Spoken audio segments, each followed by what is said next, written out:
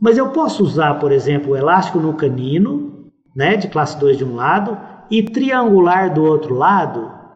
Gente, poder pode, mas o que eu quero construir na cabecinha de vocês é o seguinte: eu não quero que vocês aprendam uma receita, tá? Eu quero que vocês sejam questionadores.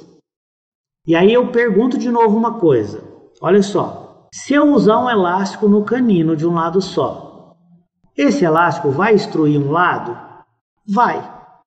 E se eu usar triangular do outro lado, esse elástico vai extruir o outro lado? Vai.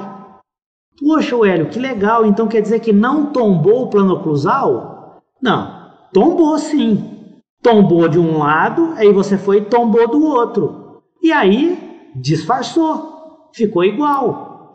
Só que isso para o braque é aceitável, mas para o dólico não é aceitável. Por que, que para o dólico não é aceitável? Porque você extruiu de um lado, extruiu do outro, o que, que vai aparecer aqui na frente? Gengiva.